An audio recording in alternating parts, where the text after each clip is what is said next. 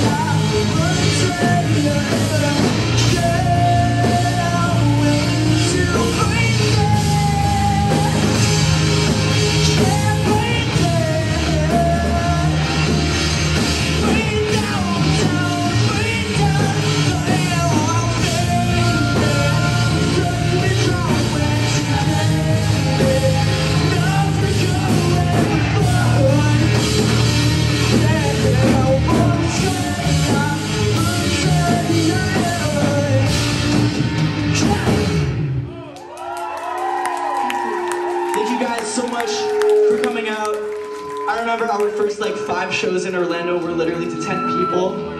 And all of you are here. And it's kind of weird, but that's amazing. Thank you guys for being here. Thanks to Couples Therapy, Zero Miles Per Hour, Smelter. Fucking amazing night.